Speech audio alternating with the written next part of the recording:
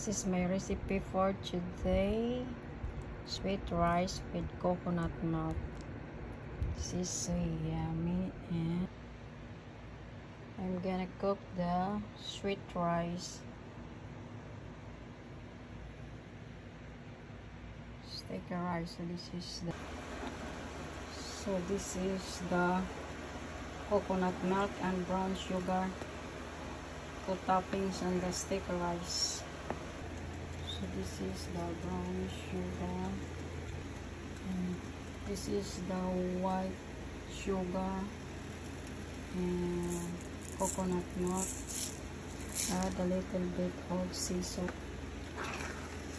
This is the coconut milk and sweet rice. This is the sweet rice. This is the sticky rice, sweet rice.